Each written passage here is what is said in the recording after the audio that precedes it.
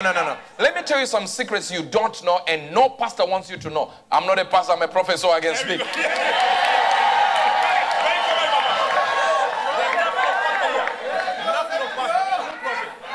Do you realize that the Bible, for you to be able to listen, sister, for you to be able to listen to this message, for it to get into your spirit, your flesh has to be surrendered.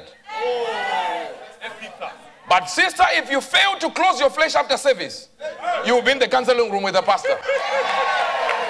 Men are not interested in this message now. But it is the same thing for women pastors as well, the same thing. The Bible says the breaking of the flesh is the release of the spirit. But you end there because you don't know demonic portals. If you knew demonic portals, then you realize something that is happening. That every time I minister a message, for you to get it in your spirit, your flesh has to surrender.